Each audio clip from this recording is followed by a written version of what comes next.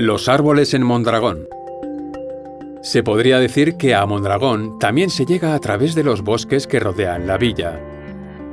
Se podría decir que los bosques llegan hasta las mismas calles y que se adentran en ellas diseminando una gran cantidad de árboles por toda su geografía urbana. Mondragón parece que rinde culto a los árboles. Una cantidad nada despreciable de ejemplares es el ornamento perfecto para una villa de tanta solera. La naturaleza llega hasta las puertas de algunas casas. Los jardines transmiten sosiego y placer al pasearlos, y los parques son refugios tranquilos donde disfrutar de los árboles en el entorno urbano. Mondragón cuenta entre otros con dos extensos y extraordinarios parques municipales, el de Santa Bárbara y el de Monterrón, antigua residencia de los condes del mismo nombre.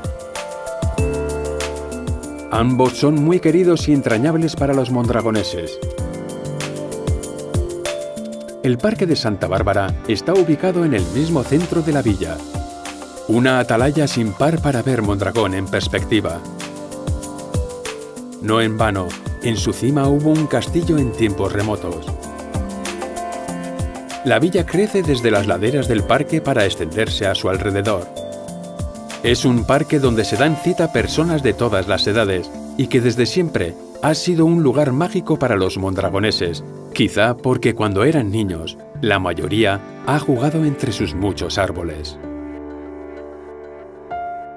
El parque de Monterrón también se halla céntrico, el palacio del mismo nombre se sitúa frente a una de las puertas de acceso al casco antiguo, y tras él se extiende un exquisito parque que guarda un tesoro de árboles autóctonos y exóticos.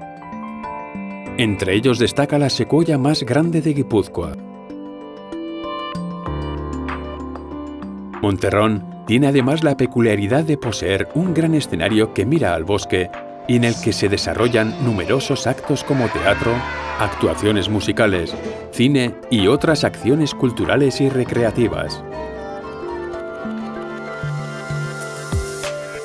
Además, este parque es atravesado por una alameda peatonal que cruza la villa de parte a parte.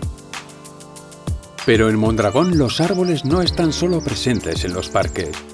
Por ejemplo, la universidad se muestra detrás de preciosos ejemplares que en otoño se expresan con colores de fantasía.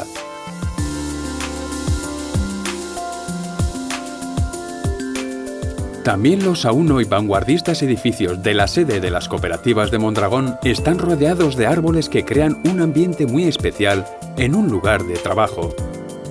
Aunque es verdad también que muchos mondragoneses pasean por esta ladera denominada Holandiso.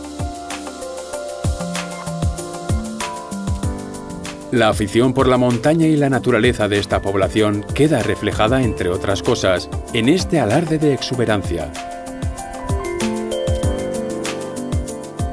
Pero es que además de sus parques y florestas están sus alamedas, sus plazas, sus avenidas, sus calles y rincones con encanto que exhiben la frondosidad de cientos de ejemplares de especies muy diversas. Y es que Mondragón es un lugar que llamará la atención del viajero por el amor que a los árboles se les profesa en este lugar de Euskal Herria.